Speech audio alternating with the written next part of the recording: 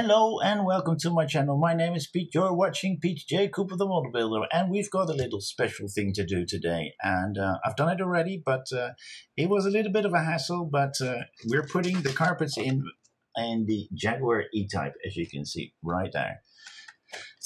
This is carpets by Mike Lane and uh, Mike, thank you because they are really good and easy and the instructions on the back here as you can see right there should I be holding it? The instructions are quite clear. Have a look at them. He's numbered them from uh, what point you want to start. So thank you. Clear. Very clear instruction. I put a little bit music under it and I may speed it up slightly but uh, so you can see what I'm doing. So uh, have a look at that. But also have a look at my uh, my channel PJ Cooper, the model builder, there are quite a few beautiful builds uh, out there, and uh, this is a special one. Uh, so uh, let's do it.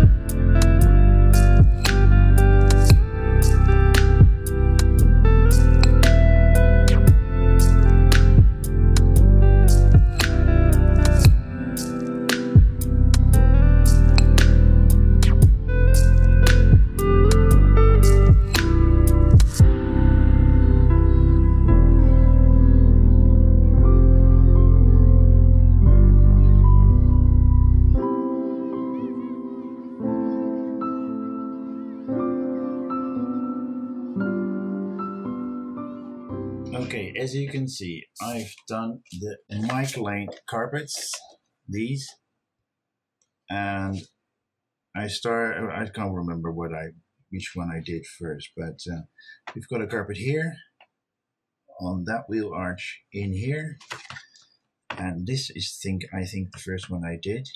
Let me push that in. There's even a tiny bit of carpet on that deal there. I had lucky I had two, and two of them went. One of them went wrong.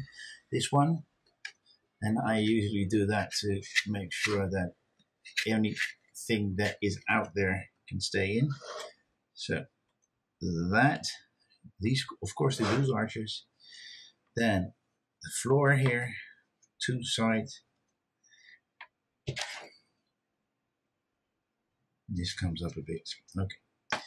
Then that side and we have a side here as well.